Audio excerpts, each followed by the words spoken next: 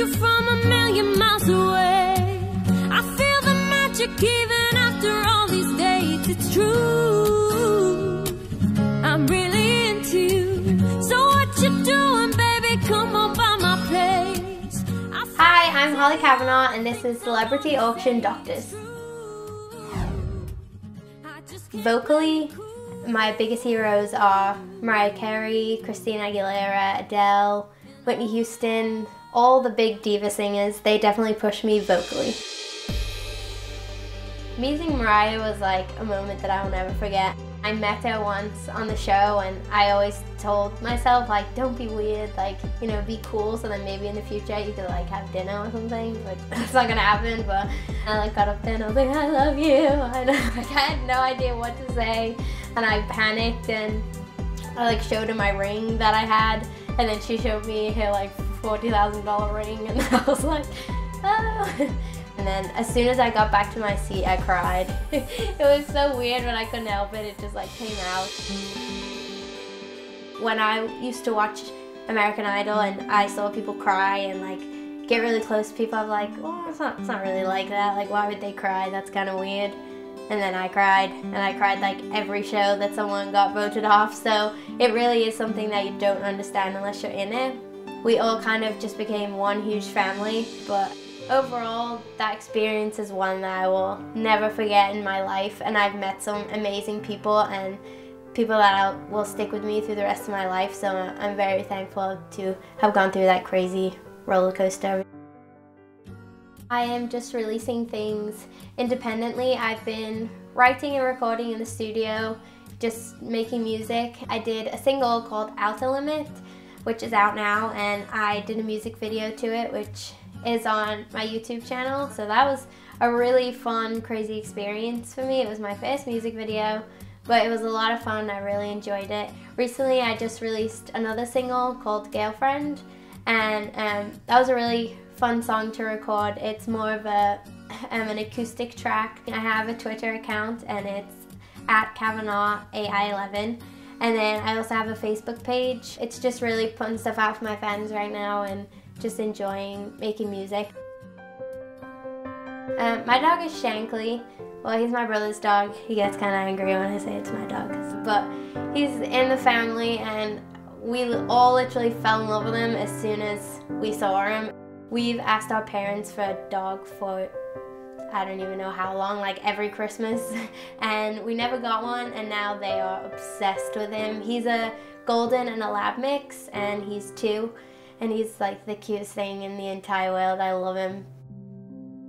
I recently just joined with the Humane Society. The biggest reason is obviously because of my dog Shankly, but as soon as I joined, they opened my eyes to thousands of different problems with all different kind of animals. They they are animals and they don't have a voice to say, you know, that that's painful or you know, don't do that. I think it's our job to stand up for them and to just really make people understand, see what's right and see what's wrong. So that's why every time I see an animal getting hit or something, I literally see Shank Shankly's face and it just like breaks my heart. We really need to branch out to everyone and just really show people, you know, what's happening to these animals and that it just needs to stop.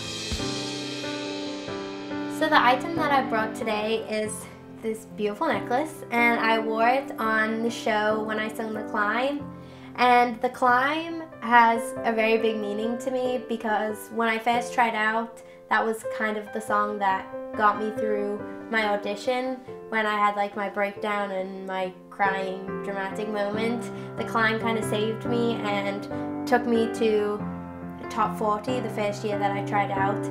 And then when I went to try back out for Idol, during the show, I sung The Climb again just because it was really appropriate because I had come so far and this song it just really explains my whole journey on Idol and I wore this necklace during my performance so it really means a lot to me. I loved, loved, loved that outfit that I wore during the climb. It was like everything about that performance was just perfect for me. So um, it's a very beautiful necklace and I picked it because it just is a very big statement.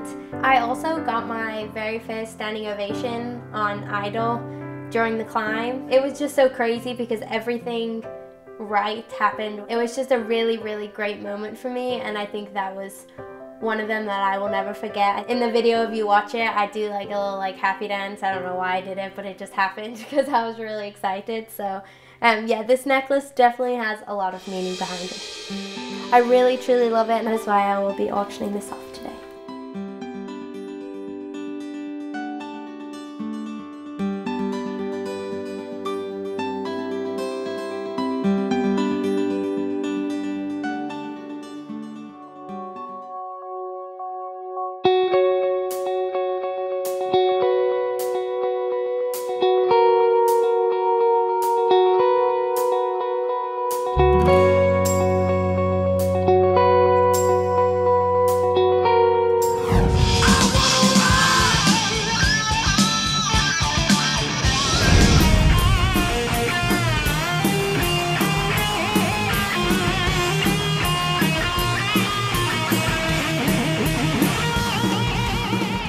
Hi, this is Eddie Ojeda from Twisted Sister, and this is Celebrity Auction Doctors.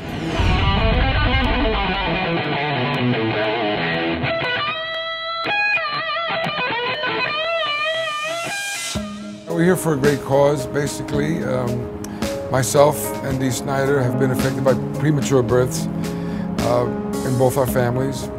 And the March of Dimes is a great charity. It's also a great organization that uh, helps greatly in this matter with uh, a lot of families. So it's something we both support. And Dee Snider helped raise a lot of money at, on Celebrity Apprentice, I believe $400,000 so far. So we're here to keep on helping. Thanks to the work of the March of Dimes, my kids are healthy. And thanks to the March of Dimes, millions of babies and moms are living a better life.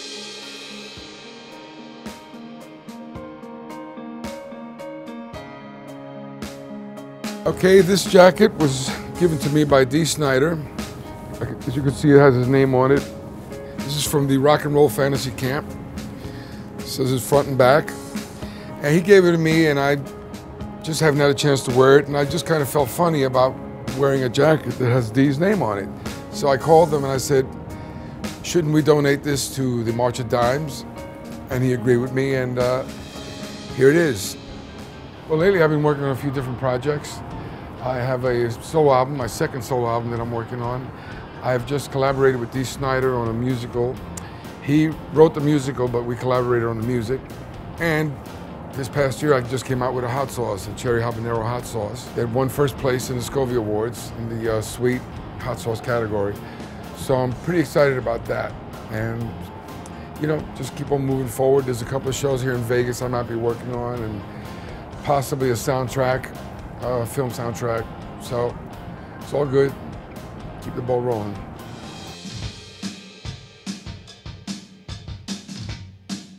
So am I still not going to take it? Well, it depends on what I have to take or what I don't have to take.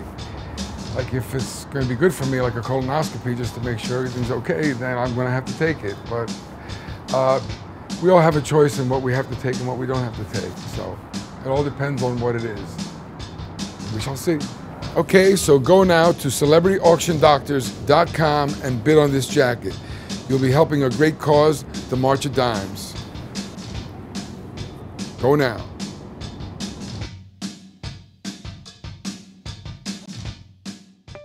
I got a job in television as an assistant and uh, worked on television commercials, you know, productions, car commercials, those kinds of things, candy bars, uh, for about a year and then I got a print job. And right then and there, uh, when I did that print, I said, I'm not going back to television. Seven years ago, uh, my wife bought me a sewing machine for Christmas and she said, quit talking about it, just do it. Next day, I went out got some fabric from my mom's closet and taught myself how to design and sew. And within a year was selling in stores. And I haven't stopped since. As far as designers go, I've always looked up to Dior, Cristobal Balenciaga, um, Karl Lagerfeld, Tom Ford are some of the more of the modern ones, Alexander McQueen, that really get my juices going. But I mean, I really look back at the, you know, YSL from you know, the 50s, things like that. But my biggest influence is music. Music for me is, it's not an object in front of me, it's a world that I create in my head off the sounds that I hear. The main things I'm working on is a mass market retail line for everybody can buy it. Um, that's done and that will be launching next season as well as some accessory lines. Um, you know, I want to build a brand. I still have my black label, which is my couture or my, you know, high-end handmade, you know, but not everybody shops that. I want, I want to make my line available to everybody at every different level. So, you know, that's going to be my main focus for 2014. I have a 15 year old daughter. I have a 17 year old son. Every weekend, 20 kids at my house. I have a pool table, I have this and that. It's a safe place for those kids to come relax. They have their own freezer full of food. A big issue in the United States, you hear about a lot overseas, but a big issue and problem we have in the United States is teenage sex trafficking. You know, this is really personal to me, having these kids at my house, seeing them be kids, and then thinking about, you know, these kids being recruited, snatched, and forced into slavery in today's society is ridiculous. It shouldn't be tolerated. When doing my research and Googling different things, I came across a Polaris project and I did a lot of research on it and uh, found it to be credible. You know, they offer 24 hour support, not only for victims, but for family members.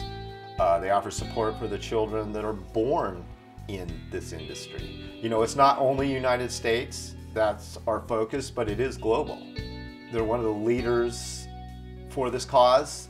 They're really uh, trying to educate people on this issue in the United States, and it's only getting bigger. So it was easy for me to pick a charity such as the Polaris Project to um, help contribute to stopping this. So what I brought today for the Celebrity Auction Doctors is my Gingher scissors. These mean a lot to me, and let me tell you why.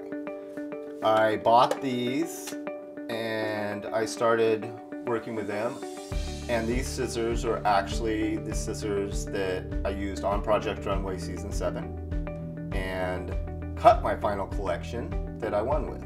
Added on to that, these are also the scissors I use on Project Runway All Stars Season 3. So for me, these, uh, these mean a lot. This, these guys mean a lot. That's all I gotta say. These are my personal ones I use in my studio. But I felt that I wanted to bring something that meant a lot for, you know, for a lucky fan who wants to help me raise awareness for my cause. Um, I thought that might uh, spark some interest. I also have brought uh, the magazine, which is the Marie Claire July issue, and it has the editorial inside. There's this page one, there's a whole editorial of um, the collection that those scissors cut. So I'm bringing two items, scissors, magazine.